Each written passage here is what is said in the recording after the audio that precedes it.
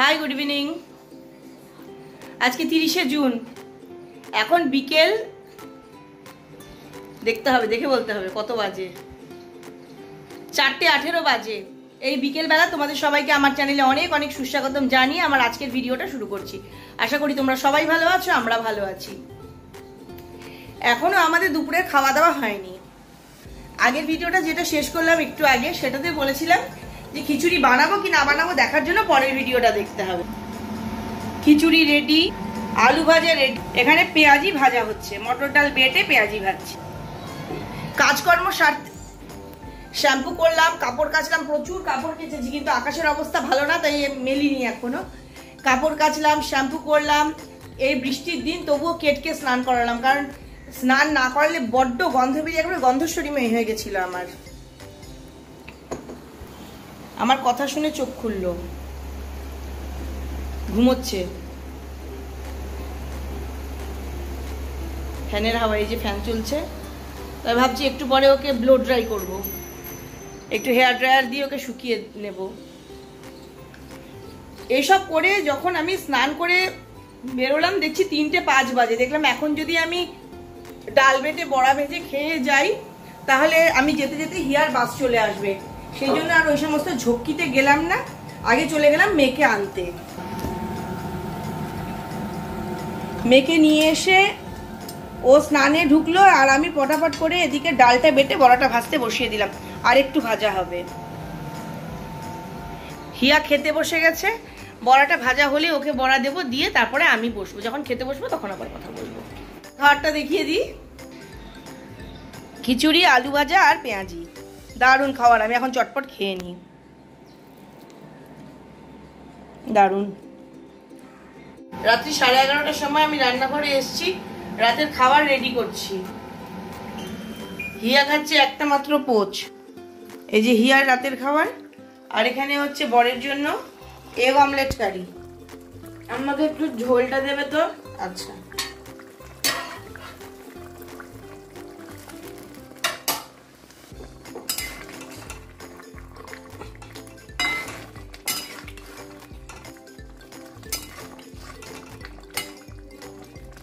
Egg omelette কারিও হয়ে গেল। অমলেটের ঝোলটা হয়ে গেছে। এখন কয়েক পেঁয়াজি ভাজার জন্য বসিয়ে দিলাম। এদিকে ভাতটাও বেড়ে নিই খাবার বেড়ে দিয়েছি। শাক ভাজা ঢেকি শাক ভাজা, ডিমের অমলেটের ঝোল আর ভাত। আর উনুনে পাকোড়াটা হচ্ছে, পাকোড়াটা হলেই ওটা নিয়ে আসব। এসো, বসো।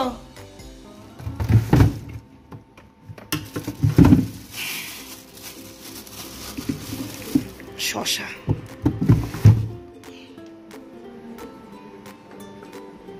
এই একখানে শশা কাটি এই শশা আবার ভাগাভাগি হয়।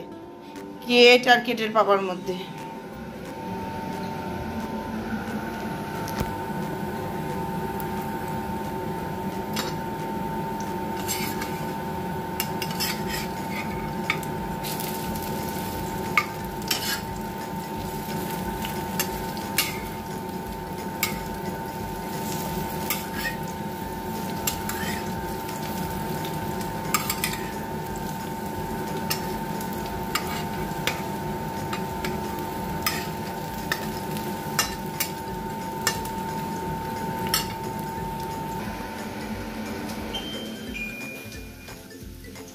এই যে ব্যাটারও বাঁচলো। ব্যাটারটা ফ্রিজে রেখে দিই। এর মধ্যে আমি চালের গুঁড়ো টুড়ো কিচ্ছু দিইনি। কিন্তু খুব মুচমুচে হয়। না না, ঝাল দিইনি বেশি। দারুণ করে কষিয়েছি আর একটু লঙ্কার গুঁড়ো দিয়েছি। এই সাদা সাদা হয়ে থাকলে দেখতে ভালো লাগে না আমার একদম। তরকারি একটু লাল লাল রং হবে। এই যে এটাকে দেখে মনে হচ্ছে যে অনেক ঝাল, খুব একটা ঝাল নেই। লঙ্কার গুঁড়ো আছে আর চিনি দিয়ে কষানো আছে, ওই জন্য এরকম রঙ আছে কি সুন্দর। বিয়ে বাড়িতে অবশ্য কেউ দেয় না, কিন্তু বিয়ে বাড়ি বিয়ে বাড়ি দেখতে হয়েছে।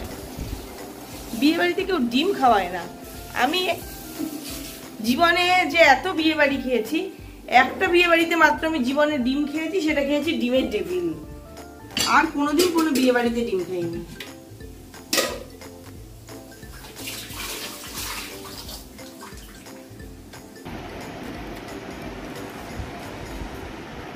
কেমন লাগছে খেতে? শুধু ঝোল কে কে খায়? শুদ্ধ ঝোল। আলু ছিল। সব খেয়ে নিবি কিন্তু ফেলবি না গ্রেভিগুলো সব খেতে হবে। দুই হাঁটু আর মাথা যোগ করে বুড়ি মানুষ। বুড়ো মানুষদের কথাই বলে যে তিন মাথার কাছে বুদ্ধি নিতে হবে দুই হাঁটু আর মাথা এক জায়গায় হয়ে তিন মাথা তিন মাথার কাছে বুদ্ধি নেবে। এই হচ্ছে আমাদের বাড়ির তিন মাথা। এর থেকেই বুদ্ধি নিতে হবে।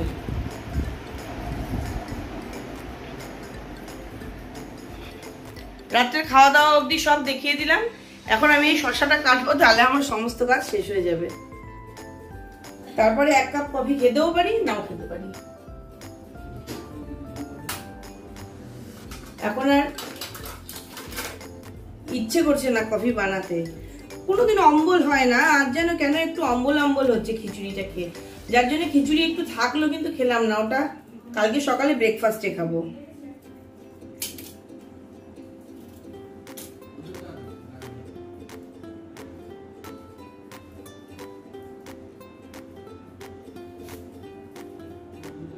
পিলারটায় আবার কি সমস্যা হলো, কাটছে না।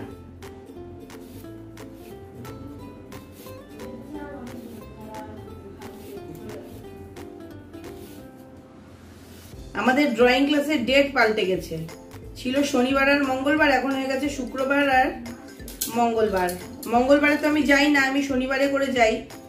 আজকে দেখি দাদা আগের দিনও বলেও দিয়েছে, আবার আজকে হোয়াটসঅ্যাপ করেছে যে এখন থেকে শনিবারের বদলে শুক্রবার। তাও আমি দাদাকে আজকে বললাম যে, একটা দিনের জন্য আমাকে তুমি ছাড় দাও আমি। কালকে আসব শনিবার। তো দাদা বলল, ঠিক আছে। এই পরের সপ্তাহ থেকে আবার শুক্রবার। শুক্রবারে করে হলে না অসুবিধে হয়, কারণ হিয়ার নাচের ক্লাস থাকে।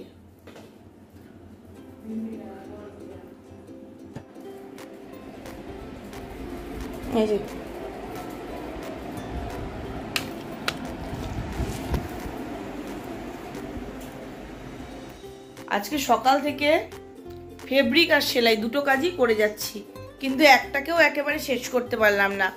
ইচ্ছে আছে কালকে এগুলো ফেরত দিতে যাওয়ার। ফোনও করে রেখেছি যে কালকে সব দিয়ে দেবো। জানি না শেষ করতে পারব কি পারব না। এই যে সেই বিছানার চাদর শুরু হয়েছে, সে এখনও শেষ হয়নি। আর এত স্প্রেড করে না, বড় বিচ্ছিরি লাগে। কাপড়টা একদম বাজে কোয়ালিটি খুব স্প্রেড করে যায়। আর ওই যে হচ্ছে আমার সেলাই। ওরও খাওয়া দাওয়া কমপ্লিট তুই কি পড়াশোনা করবি আরও?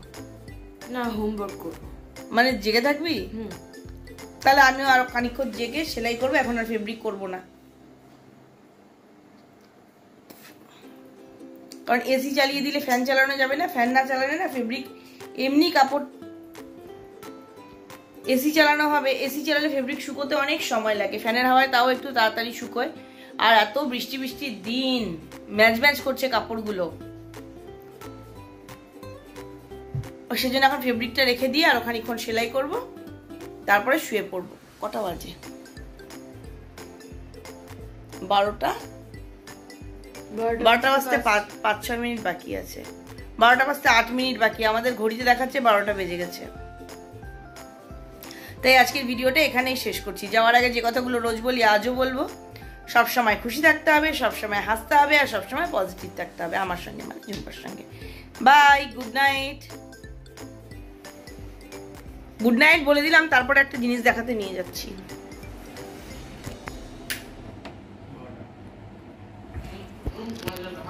এই যে এখানে এক বালতি কাঁচা কাপড়, ড্রামের ভেতরেও এক বালতি কাঁচা কাপড়। কোথায় মেলা হবে, কবে মেলা হবে জানি না। একটুও তো রোদ টোদ ওঠে না, কাপড় কাচলেও শুকায় না, ঘরের ভেতরে দিয়ে দিয়ে শুকাতে হয়। এখন রাত্রে কিছু কাপড় জামাকে ও ঘরে মেলে রাখব, আর বাকিগুলো থাকবে পরে কেয়ার করা যাবে।